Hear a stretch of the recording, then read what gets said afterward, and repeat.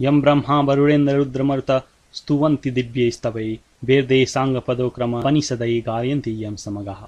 ध्यानावस्थिता तन्रतेन मनसा पश्यन्ति यं योगिनो यश्यन्तं न विदुः सुरसुरगणा देवाय तस्मै नमः। श्रीमत्सचन्दनचर्चितोज्ज्वलपु शुक्राम्बरा मल्लिका मालाङ्कृतकुण्डला प्रवीलसन्मुक्ता वलिशोभिता सर्वज्ञाननिदानपुस्तकधरा रुद्राक्षमालाकरा वाग्देवी वदनाम्बुजे वसतु मे त्रैलोक्यमाता चिरम्। मुखं करोति वाचालं पङ्गुलघ्यते गिरिं यत्कृपा तमः वन्दे परमानन्दमाधवम्।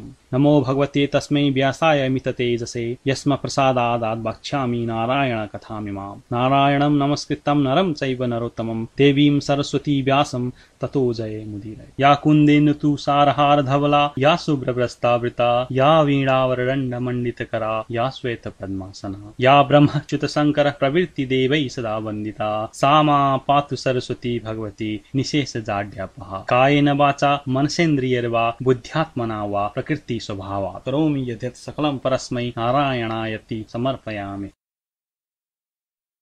अथ चतुर्विश्व अध्याय। कुमारजी आज्ञा गर्नुहुन्छ हे अगस्त मुनि त्यसपछि गोमा ब्राह्मणी धागाको लरिया लिएर चन्द्रज्योति नगरको बरहीको घर पुगेर मेरो घरमा सप्तऋषि आएका छन्। यो धागाको पान ल्याऊ तिनलाई खान दिन्छु भनिन्। त्यति गोमाले भनेको सुनेर बरहीले उत्तर दिए हे गोमा ब्राह्मणी पान त कति पनि छैन। जो भएको हिजै बेचिसके। नपत्ताए हेर भनेर पानको भाँडा उघारेर देखायो। तब भाँडाभरि पान भइरहेको देखि यो के को आश्चर्य भयो भनी चिन्ता गरेर भन्यो हे गोमा ब्राह्मणी यस भाँडाको पान हिजै बेचिसकेको थिएँ। आज कताबाट आयो? तपाईँले मेरो घरमा सप्तऋषि आएका छन्। उनलाई खाना दिने भन्दा यस्तो भएको हो कि? भनी लाज मानी तपाईँलाई धन्य हुनुहुन्छ। यो धागो पनि दिनु पर्दैन। पान लगेर ऋषिहरूलाई खान दिनुहोस् भनी आधा जति पान ल्वाङ सुपारी समेत दियो। र गोमा ब्राह्मणीले मनमा आनन्द मानी पान लिएर घर आउँदा सप्त ऋषिहरू गइसकेका रहेछन्। अरू केही पनि नभए पनि पानले ऋषिहरूको आतिथ्य गर्नेछु भनेको म पापिनीको हातको पान खानु पर्ला भनी गइसकेछन्। म धिक्कार रहेछु भनी विस्मात गरिन्। केही बेरपछि कुचो लिएर घर बढारौँ भनी पिराका उठाउँदा तिनीहरूले छोडेर गएका सातवटा सुनका कौडी देखिन्। त्यो द्रव्य पाएपछि उनीहरूले बताए अनुसार पौष शुक्ल पूर्णिमादेखि हात खुट्टाका नङ काटी स्नान गरेर पवित्र भई एक भक्त रही एक चित्त गरी। नित्य मध्यकालमा श्री महादेवको पूजा गरेर रात पर्ना साथ कथा सुन्ने। घरमा कोही नहुनाले आफ्ना खाट चर्खा उइटा धनु आदि राखेर स्वस्थानी परमेश्वरको कथा भन्दथिन्। त्यसो गर्दा चन्द्रज्योति नगरका गोठाला केटाकेटीहरूले सुनेर के हो भनी घरको भित्ता च्यातेर चियाउन लागे र बिछौना उइटा चर्खा धनु सामुन्य राखेर एक्लै बरबराएकी गोमालाई देखेर हे गोमा ब्राह्मणी किन एक्लै कराएकी भनी सोधे अनि गमाले भनिन् हे बालक हो सप्तऋषिहरू आई स्वस्थानी परमेश्वरीको व्रत गर भनी उपदेश दिएर गएका हुनाले सोही व्रत गरी स्वस्थानी परमेश्वरीको कथा भनेकी हुँ। व्यर्थ गराएकी होइन। मलाई कुनै पनि रोग लागेको छैन। म बहुलाएकी पनि छैन। सुन्ने कोही पनि नहोलाले बिछ्याउना चर्खा उइटा धनुलाई सुनाएकी हुँ। यति गोमाले भनेको सुनि गोठाला केटाकेटीहरूले दिउँसो आफूले खान लागेको अन्नपात छोडेर गए। सधैँ गोमाले भनेको कथा सुन्दथे र जे सकेको लगिदिन्थे। त्यसो गर्दा स्वस्तानी परमेश्वरीको कृपाले गोठाला केटाकेटीहरूलाई घाँस खोज्न धेरै पर जानु परेन।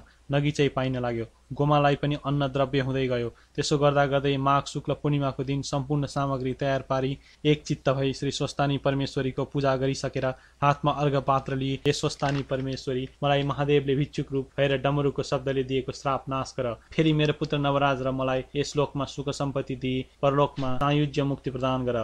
हे जगदीश्वरी आदि मध्य र अन्त्य नभएकी सृष्टि स्थिति संहार स्वरूप भएकी यस्ती हे स्वस्तानी परमेश्वरी हजुरलाई कोटी कोटी नमस्कार। यसरी महादेवको पनि स्तुति गरी अर्घ्य दिइन् र दण्डवत प्रणाम गरेर प्रसाद झिकी अष्टोत्तर सयमा आठ रोटी आठ अचेता आठ बेली पुष्प आठ पान आठ कुडका सुपारी सगुन समेत यो मेरो पुत्र नवराजलाई पनि पर सारिन्। सय रोटी आफूले फलार गरिन् र रात्रिमा जागराम बसिन्। त्यही रातमा स्वस्तानी परमेश्वरीको व्रतको प्रभावले नवराज आइपुगे र बाहिरबाट हे माता भनेर डाके। गोमाले आफ्नो छोराको बोली चिनेर झट्ट उठी बाहिर आएर ढोका खोली भित्र लगिन् अनि स्नेहपूर्वक सोधिन् हे पुत्र तेरा पिताको के खबर छ? अनि नवराजले भने हे माता भिक्षा माग्न गएका मेरा पिता गङ्गा तटमा नित्य पूजाको लागि वृक्षमा चढेर फलफुल टिप्न लाग्दा संयोगले रुखको हाँगा भाँची लडेर मरेछन्।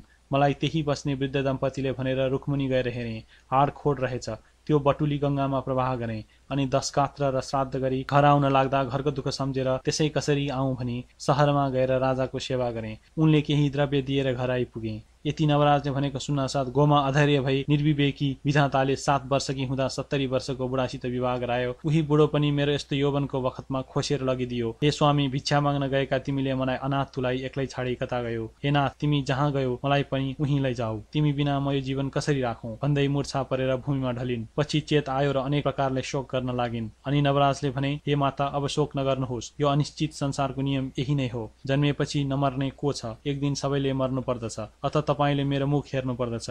तपाईँकी बुहारी कहाँ छिन्? यति दिनसम्म तपाईँहरू कसरी बस्नुभयो? खानपिन कष्ट भयो होला। फेरि तपाईँ यस बेलासम्म नसुतेर के गर्दै हुनुहुन्छ? अनेक पुष्प र धूप चन्दनको सुगन्ध आइरहेछ। के पुण्य कार्य गर्नुभयो? आज्ञा होस् यति नवराजले भनेको सुनि गोमाले धैर्य धारण गरेर भनिन् हेर नवराज थाकेर आएको भोक लाग्यो होला। पहिले खानेकुरा खाऊ भनी खान दिइन्। खाइसकेपछि हे पुत्र तेरी स्त्री चन्द्रावती माइत गएकी छे तपाईँका छोरा आएपछि डाक्न पठाउनु भनेकी थिए। म तँलाई सम्झेर दुःखका दिन बिताइरहेकी थिएँ। एक दिन सप्तऋषिहरू आई मेरो कष्ट देखेर मनमा दया लागि श्री स्वस्तानी परमेश्वरीको व्रत गर। तिम्रो दुःख नाश होला भनी उपदेश दिए र उनीहरूको उपदेशले मेरो पुत्र नवराज छिट्टै आओस् र मेरो कष्ट एवं दरिद्रता नाश होस् भनेर उनै स्वस्तानी परमेश्वरीको व्रत र पूजा गरी जागराम बसेकी थिए। मेरो मनोरथ पूर्ण भयो। अब तँलाई पनि उसको महिमा सुनाउँछु। एक चित्त भएर सुन। यस लोकमा सुख सम्पत्ति पाई अत्यन्त मुक्ति मिल्नेछ भनी सम्पूर्ण कथा विस्तारले सुनाइन्। त्यसपछि प्रातकाल भयो र नवराजले भने हे माता म गङ्गा स्नान गरेर आउँछु। अनि गङ्गामा गई स्नान गरिसकी हरिहरको पूजा र स्तुति गर्दा गुरुमा ब्राह्मणीको व्रतको प्रभावले गङ्गाबाट हरिहर प्रकट भई हे नवराज तेरी माताले गरेको स्वस्तानी परमेश्वरीको व्रतका प्रभावले हामी प्रसन्न भयौँ। वरदान ल्याऊ। यस गङ्गादेखि दक्षिण दिशामा लावण्य देश छ। त्यहाँ राजा छैनन्। हात्तीलाई सुवर्णको कलश र फुलको माला दिई राजा रोज्न लगाएका छन्।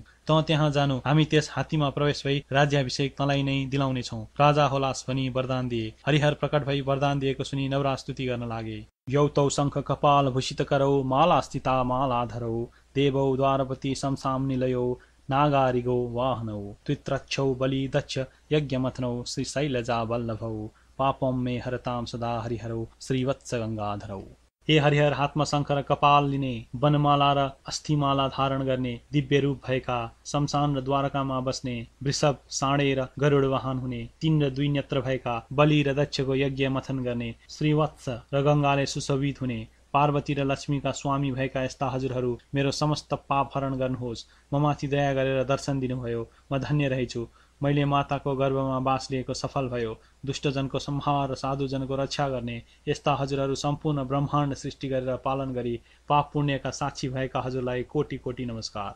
सधैँ हजुरको भक्तिमा मेरो चित्त लागिरहोस्। यस्तै अनेक स्तुति गरेपछि हरिहर अन्तर्ध्यान हुनुभयो अनि नवराज हरिहरको दर्शन पाएपछि सूर्य झैँ तेजिला भएर घर पुगे। गोमाले छोरालाई यस्तो तेजयुक्त भएको देखेर आश्चर्य मान्दै सोधिन् हे नवराज त आज अत्यन्त तेजवन्त देखिन्छस्। त्यस्तै हो कि मेरो चित्तको भ्रान्ति हो।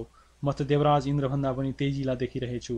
यति महतारीले भनेपछि नवराजले गङ्गा स्नान गर्न जाँदा गङ्गाबाट हरिहर प्रत्यक्ष भएको र लावण्य देशको राजा होलान् भन्ने वरदान दिएको सारा वृत्तान्त सुनाई हे माता हजुरको तपस्याको प्रभावले म यस्तो भएँ भनी नवराजले भनेपछि गौमा प्रसन्न भएर बोलिन् हे नवराज मेरो पुत्र चाँडै आइपुगोस् भनेर स्वस्थानी परमेश्वरीको व्रत गरी प्रसाद राखिदिएकी छु। लौलेउ स्वस्थानी परमेश्वरीले सदैव तिम्रो कल्याण गरून्।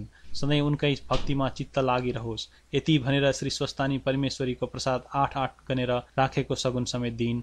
र हे पुत्र तिमी हरिहरको आशीर्वादले लावण्य देशको राजा भए भनी आशीर्वाद दिइन्। नवराजले पनि श्री स्वस्थानी परमेश्वरीको प्रसाद खाई माताको चरणमा दण्डवत प्रणाम गरी लावण्य देश जान भनी हिँडे। इति श्री स्कन्दपुराणे केदारखण्डे माघ महात्मे कुमार अगस्त संवादे श्री स्वस्थानी परमेश्वर्य व्रतकथायां गोमा स्वस्थानी व्रतकृत प्रणनाम चतुर्विशो अध्याय